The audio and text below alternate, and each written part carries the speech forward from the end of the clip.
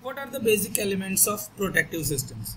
The basic elements of the protective systems are sensing elements CT and PT that is current transformer and potential transformer main inputs to the relaying system.